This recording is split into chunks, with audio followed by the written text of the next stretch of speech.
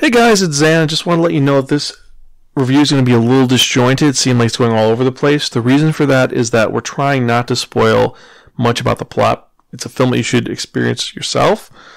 We will be doing a spoiler review hopefully in the next few weeks, but for right now, here's our spoiler light review of Weathering with You. Hope you guys enjoy. Warning this podcast contains adult language, mature situations, a determined runaway with great worth ethic, a cheerful sunshine girl with unusual abilities, perpetual rain for over three months, the juiciest Big Mac in the world, and awesome music by Radwimps. Listener discretion is advised.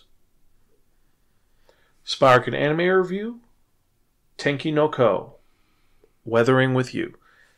Hello, everyone, and welcome to another episode of the Spiraken Anime Reviews. Spiraken's podcast where we talk about new and old anime, movies, TV shows, OVAs, ONAs, and all other lovely things that are awesome.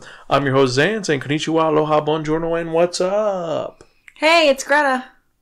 So, it's been a bit since you've been on the podcast. You've been rather busy with everything going on in the land of real work. Yes. Still watching anime, just busy. Busy, busy. But you're going to be back on movie reviews and other things as well because there's so many cool things coming out. And I've worked enough. And also, we still have to do the Little Women review. Yes. and Other things. But we digress. Uh, this is our first anime review for the far distant year of 2020. 2020. Or it's going to be XXXX. Wait, no, that sounds 4 X's will be 40. So it'll be 2 2X. No, it'll be 2MXX. Somebody put that in the comments. What is it supposed to be for it to be 2020? Thank you. This is not a random question. This is just what we're curious about. But we digress. Uh, yeah, it's our first anime review, and I'm excited because this is one which technically came out last year, and for various reasons, we uh, well, anyway, beforehand, if you're joining us for the first time, you're probably confused what we're talking about. Let's get that out of the way first. So, if you're joining us for the first time, Spiraken is a podcast that provides informative reviews about connected enhanced narratives. Now, what does that mean? Pretty much it means that every episode we talk about different geeky properties.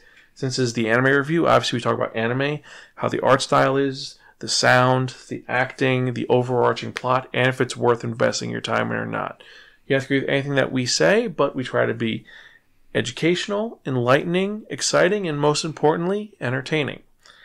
And where can they find our old episodes from manga review or anime review or con review and all those other lovely podcasts? www.spiraken.com. Yes. They'll find everything. Yes. You can find- Everything. Yes. We're also on Instagram, Twitter, Tumblr, Apple Podcasts, Apple iTunes, Stitcher, YouTube, and various other social media sites. Just write Spiraken, S P I R A K N, and you'll find us. Also, definitely follow us on Instagram, follow us on Twitter, and if you want to be cool, go to tinyurl.com forward slash help Xan and leave a note in the Apple uh, podcast site. Leave a nice little comment for us. It's kind of a nice little, just like putting a tip in the tip jar. Gives me a little bit of uh, what is the word? It gives me makes gives me hope to keep going with this podcast a little longer. Reviews the reinvigorates the mojo. Yes, it, it reinvigorates and strengthens it. But now that we've gotten all of that crap out of the way, let's get to it because I'm actually excited to talk about this anime we saw because we saw this anime not on TV. We saw it in theaters. Yes, we actually got to sit down in theaters, sit and scrunch and watch an anime. Actually, this is the second anime in the last two months we've watched in theaters. Yes. Uh, Gretta and I finally got to, well, Gretta finally got to watch Promare Yes, I did. with the dub. Uh, did you like it? I did. I'm not a huge fan, and I think I've said that I wasn't a huge fan of Fire Force. Yeah. So this is like a better version of Fire Force. So I don't want to be sexist, but it feels more like a boy anime. totally. Well, what do you think about the world's biggest idiot firefighter? Yeah. He was amazing. But that's not the anime we're talking about. Uh-uh. No, we're We're talking. watching. We watched Weathering with You. Yes, Tenki no Ko, which is the 11th film by Makoto Shinkai. Also, the second film he worked on with the band Radwimps. He actually said that he emailed them, they wrote a song, and then from there he wrote the story, which is kind of cool. It's not kind of cool. It's super cool. And it's a fun fact that this came out in theaters, and our theater was packed. Yeah, we went with another friend who couldn't even sit next to us. Yeah, we went with a friend of the podcast, Doug, like I said in uh, this week's earlier anime review or manga review, and we talked about we, we had to sit in two completely different spots. It wasn't next to each other. We were across the, the theater. It's kind of crazy. It was that packed, but it was cool, and everyone. That just means I didn't have to share my popcorn. Doug, we love you. So, entering this part now, this is actually a couple days later, turns out that this got number two in the box office. Woohoo! It beat out Doctor Doolittle for Okay. Well, it beat out Doctor Doolittle. it beat out Little Women. It beat out uh sorry, the only thing it did not beat out was Bad Boys. That's crazy. In the United States, Weathering with You is the number two. Because it was awesome. It's an awesome movie. Okay, well going back to the old review. But it's a film which is unique and different now. As we said, the title is Weathering with You or Tenki no Ko, which literally means Child of Weather.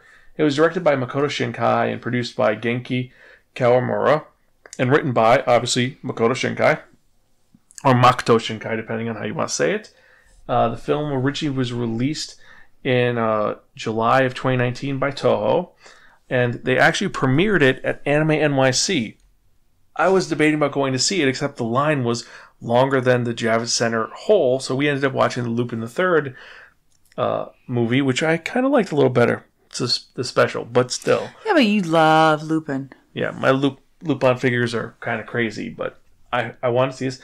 Um, the original box office for this was 14.04 billion yen. Worldwide, it's made 182.1 million. So this movie is doing very good. Now, this is coming off of the um, back burner of his last film, like we said, that he worked with um, the Radwimps.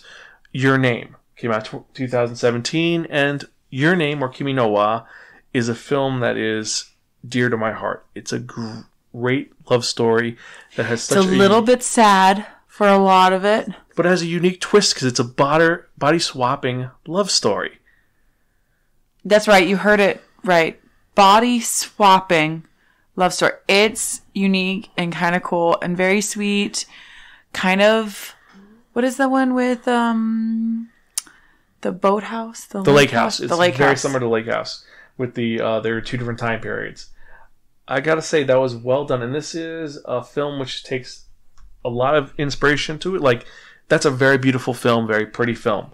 However, that was him honing his craft, I think, and this is him. He's now got the craft down pat, so he has the system down pat. Because this film is visually stunning.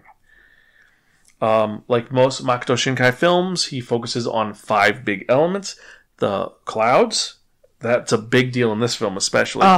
Uh, the city itself, trains. Uh, there's not a lot of cherry blossoms in this one because it's raining all the time. but there's a lot of rain. There's rain, There's so much water in this. Clouds, rain. and it's photorealistic. A lot of it looks like real raindrops, and I love that. It looked like it was just it's either uh um an animator's nightmare or absolute dream. Very true. It was done so well, but it was also didn't he say that each like raindrop had to be drawn by hand? no. The whole thing was done by hand. Yeah. which is awesome. It's, it show shows how great Shinkai is because he does it by hand, and I love that. Now, um, we've been talking about the overall, you know, how it's connected to your name, how it's the successor to your name. It's Makoto Shinkai's new film. He's worked on so much, but we haven't really gotten into what this film is about. So, to break this down into one sentence, a, a runaway goes to Japan to kind of find his life together and get away from where he's from and he meets a girl who has a mysterious ability, and they end up going into business together. And hijinks ensue. Mm-hmm. And there may be repercussions because of use of this ability, and we don't know what happens, and they end up learning about each other. That's the dime store one two three. Have you ever heard of the Sunshine Girl before? Uh, I've heard of it because of the little um. I heard about it, and I feel like I've like yeah, I knew about it somewhere in the back of my brain. Um, but I thought that was a really sweet touch. She's a Sunshine Girl. and it's uh sunshine girls are kind of cool and it's i love the fact that it's connected with that whole um Teru Teru Bozo thing now. Those are those little handmade dolls that people make. It's like with tissues or with cloth, and it, they look kind of like ghosts. Mm-hmm. And they're they're prayers for rain if you want to have a rain. It's kind of cool because they're a prominent part in this film, except they're doing the reverse because her thing is she is a sunshine girl. So when she's around, sunshine happens, and this is important because something we didn't say is that all right, this takes place in a world where, for some reason, we don't know why, it's perpetually raining in Tokyo. Like, it hasn't stopped raining for three months. And it's hasn't flooded yet, but it's a little. But I mean, like three months of straight rain, not like a little misting or a rain shower today and then it clears up. Like it's raining. Yeah, and it seems to be rough. And she, when she comes in, she actually will. She gets there, she makes a prayer, and suddenly. The sun comes out. It- It's and this is one of my favorite things when it rains. But when the when it's raining and you can kind of see far out, you can see all of the rain kind of coming. Sometimes you can see wind kind of blowing through it a little bit, um, almost like a school of fish kind of effect. But when the sun opens up and shoots through like a hole in the cloud, and you get like a spotlight of non-rain of sunlight like you see that come streaming in and open up and the rain stops and people i just it's really i like it That's true, and that's how you feel when you see it. It's just it's a nice touch, and it's so weird because our main character, whose name is uh, Hodaka, is kind of shocked when he discovers this girl because he met her earlier when he was kind of being homeless because he was he ran away. He's looking for his fortune. He's living in a manga cafe until he runs out of money. That he's being a bum, and he's just chilling out in a McDonald's. And you see her because he's working there. She gives him a Big Mac. It says here. Uh, don't worry about it. And the Big Mac, when you see it, it is the juiciest, most delicious. you know how a big mac comes in like that square box? You like unhinge it and it like cushioned up? Like they had to squish it kind of to get it to close. And they say that the most wonderful seasoning is hunger. And he's starving. He's like drinking water to fill his stomach. He's just trying not to spend money and literally homeless in in Tokyo. And this is like the best looking He burger. says this is the best meal he's had in his life, which also could deal with what's going on with what he's running away from, which we never do find out about. They never go into that. I kind of do like that they don't explain that. It just it happens. Mm-hmm. However, he's run away. They meet, and he's and it's like they keep meeting, and eventually they end up working together because she is looking for work. She ends up getting fired from McDonald's for some reason because apparently she lied about something, and because she doesn't have all her paperwork. She lied about her age. She's not old enough to work. no, she is. She's 18 years old. That's true. Next month. Yeah, she's yeah she's 18 next month, and uh, so she got fired for that. She's looking for work. Uh, she ends up first she tries working with a guy who's kind of scrupulous, maybe yakuza, and um, Hodaka ends up rescuing her, thinking he's rescuing her, and it kind of backfires. But it's a scene which leads to a lot more later on because the yakuza who's trying to take Hina, the girl, earlier on beat the hell out of Hodaka because he was like we said, he's homeless, so he's kind of hiding from the rain underneath the this guy's stoop, and he beats the hell out of him, throws him in the garbage can, and this leads to a MacGuffin, which le- later on leads to problems. One of the problems, right? Yes. But But he also beats him up because he's just a piece of a piece of shit. Yeah, garbage. Not our hero, the bad guy. the bad guy. But uh, so he starts his business with Hina and her little brother Nagi, and they. It's kind of funny because Nagi is wearing a giant Teru Teru Bozo outfit. She has an umbrella with a Which is so can we just say how cute he is in that little outfit? He's so cute. Takes a little head off and he's oh, like It's not also working. Nagi is a pimp. He has girlfriends upon girlfriends. And he's like seven. Yeah, like rewind when we first meet him, our Hodaka is on the train And in the back of the bus is this cute little, you know, elementary school boy riding the bus with a girl that's flirting and they're like all cute. He thinks, oh, that's nice. The bus stops, the girl gets off, and a you know, on the back of the bus, and a girl comes on the front of the bus. She goes, "Oh, hi! I didn't know you were going to be on." And he starts flirting with her, and he even says to himself, "Oh my gosh, look at this, this, Player. yeah." And this comes in later on because he has so many girlfriends. It's one of the nice touches that makes each of these characters very different and diverse. Uh, another character that we're introduced to is uh, how do you pronounce his name? Suga. And Suga is this writer who's played by Lee Pace. Yes, Ronan the Accuser from Guardians of the Galaxy is in an anime. And he hires Hodaka for reasons. We don't know if it's because he reminds him of himself, because when he was younger he ran away. They're kind of mirror images of each other. Like, I think Suga is what Hodaka could be, even though he's not a great example of it because he's an alcoholic and he's also living in a bar and he's trying to fight for his daughter's uh, for his visitation rights for his daughter. He also runs a publishing company that Hodaka ends up working for. That's uh, what's the word we're looking for? Um, kind of Entertaining.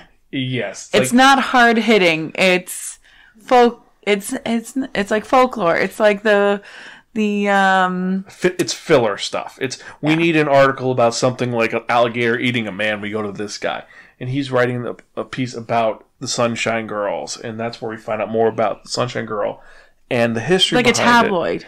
Yes, exactly. It's a tabloid, and they sell articles. There's also Natsumi, who is his niece, who is a crazy girl on a moped who's constantly looking for work. That's the running gag of the movie. She's just trying She's trying. always to, interviewing.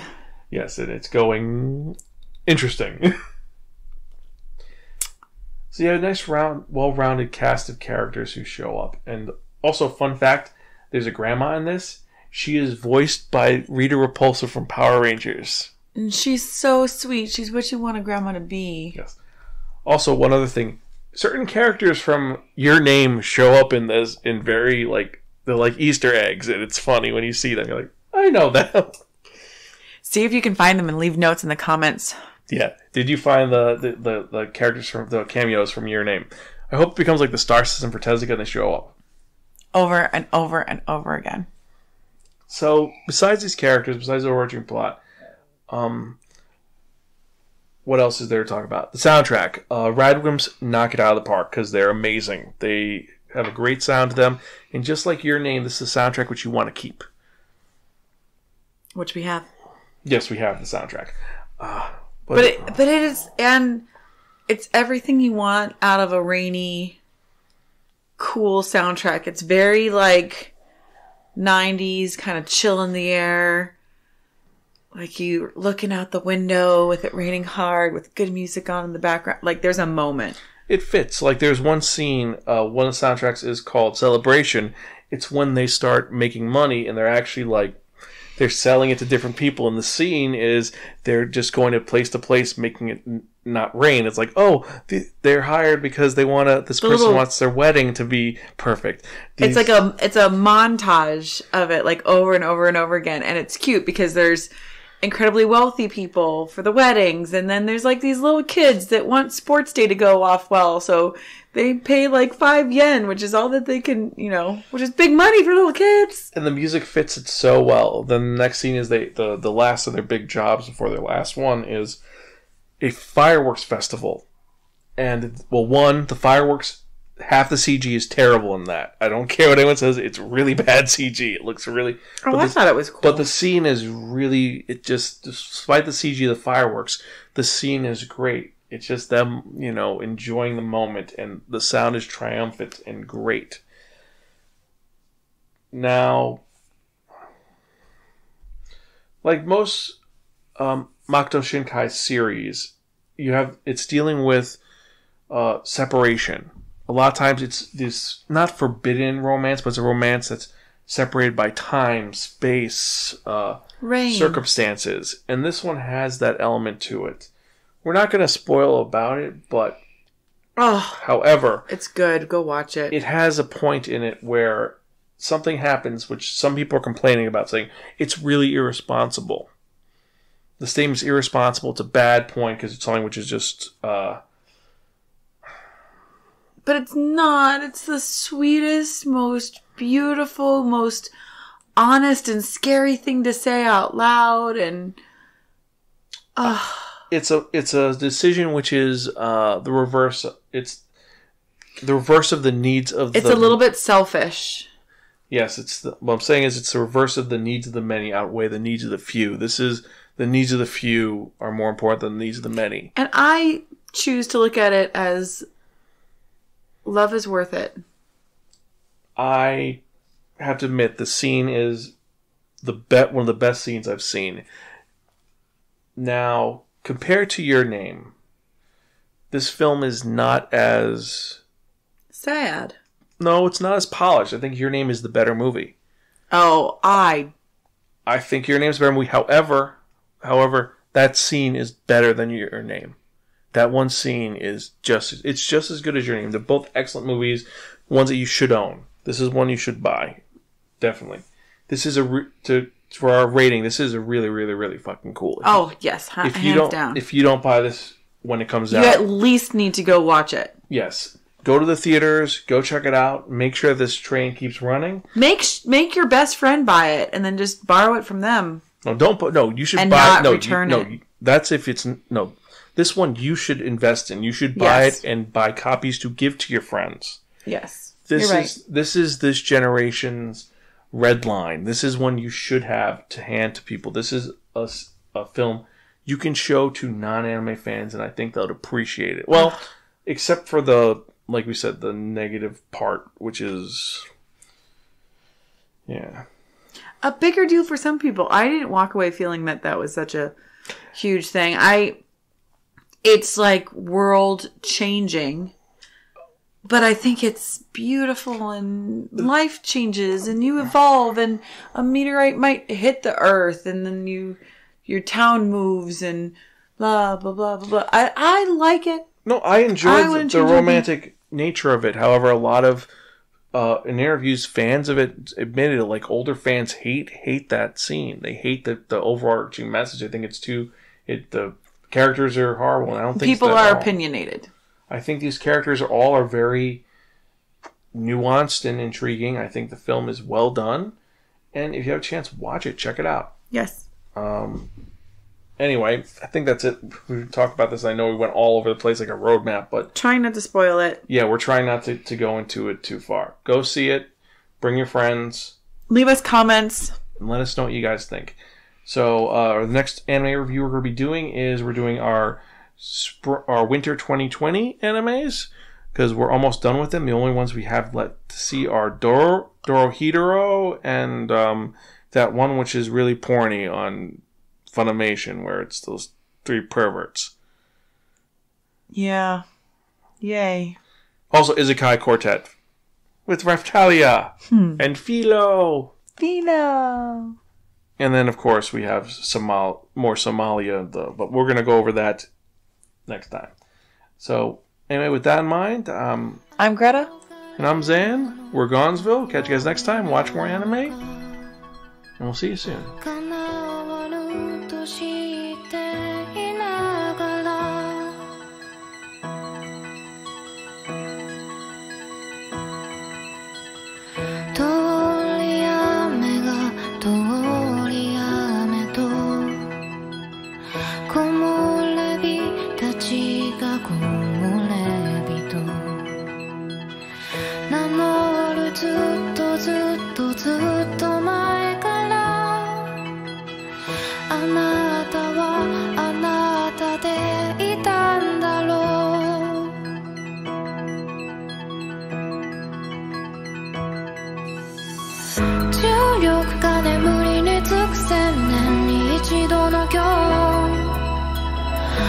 太陽の四角に立ち僕ら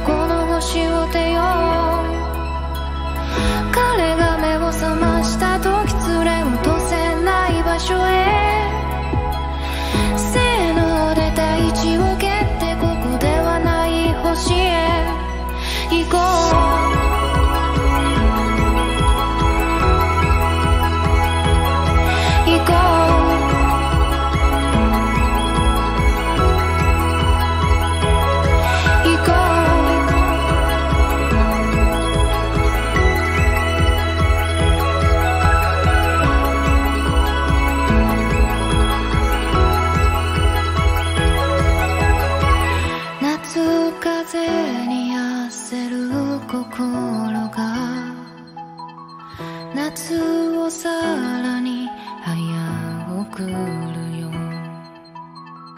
目まくるしい景色の中。君だけが止